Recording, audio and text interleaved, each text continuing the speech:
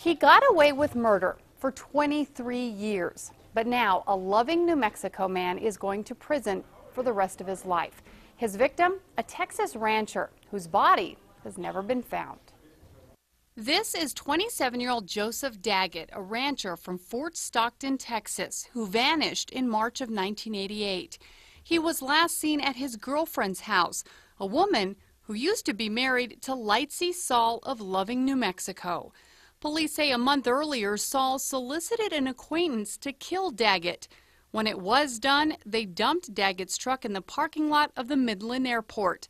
As for Daggett's body, it has never been found. But prosecutors say Saul talked a lot about the murder plot, and a lot of people overheard it.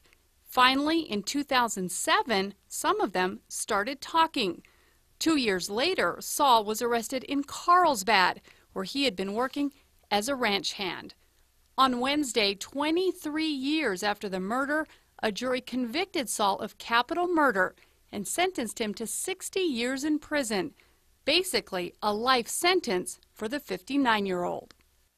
Two other men have been indicted for Daggett's murder, both from Texas. They are still awaiting trial.